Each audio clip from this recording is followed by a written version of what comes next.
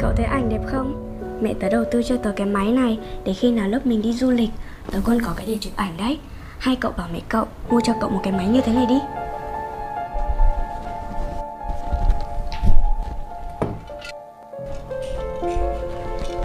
Tiền đi du lịch của lớp mình năm nay là 2 triệu đấy Cậu có đủ tiền để đóng không? Để tớ đập lợi mua cái điện thoại mới Rồi xem thiếu bao nhiêu tiền Rồi tớ sẽ xin thêm tiền của bố tớ. Ừ, thế cũng được. Đấy, anh về đây mà xem con gái rượu của anh như này. Đua đòi lêu lỏng Đập lợn ra rồi đấy này. Anh cứ bình nó cho lắm vào. Chỉ giỏi học theo bạn bè thôi. Em bình tĩnh đừng có mắng con. Dù sao cũng đấy là tiền tiết kiệm của con Nó tiêu gì kệ nó. Anh thì lúc nào cũng bênh nó chầm chập chầm chập ra. Con thì ờ, chơi bời lêu lỏng với bạn bè còn đi du lịch à? Còn mua điện thoại? Lên gác lấy cái điện thoại xuống đây cho bố xem. Nhanh lên! Đấy, em đã bảo anh rồi. Có gì cứ lấy tiền tiết kiệm của con ấy. Nó nuôi lợn mấy năm nay, Đếm sơ sơ là cũng được phải được mấy triệu đấy. Làm gì phải đi cầm cố cái dây chuyền của bà như thế này? Tiền đấy là tiền mà con nhịn ăn nhịn tiêu. Thế em không thấy là cả cái tiền lì xì Nó không dám động vào à? Mình là cha là mẹ phải tôn trọng con cái. Khổ quá. Nhưng mà nó là trẻ con. Bé tí thì biết tiêu cái gì. Anh thì lúc nào cũng bình nó chầm chập chầm chập ra. Mà còn anh nữa đấy. Lương tháng thì ít Mà tháng nào cũng bị chậm. Em thì còn lo sinh hoạt phí bao nhiêu khoản? Tiền điện, tiền nước, tiền ga, tiền mắm muối. Ông bà hai bên bây giờ thì đều ốm. Bao nhiêu là tiền thuốc?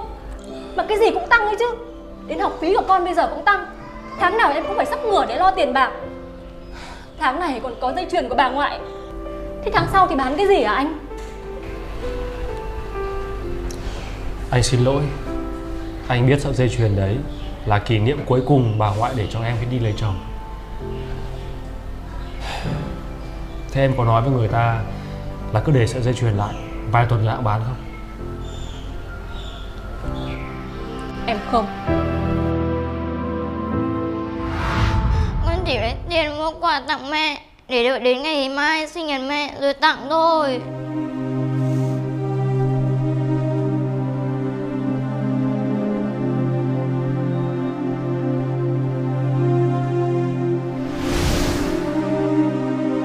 Con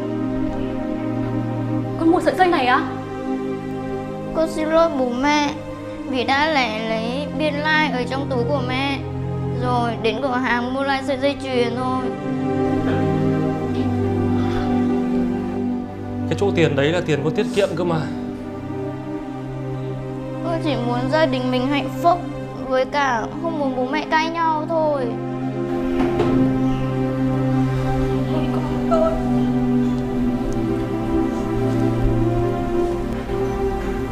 Con gái thôi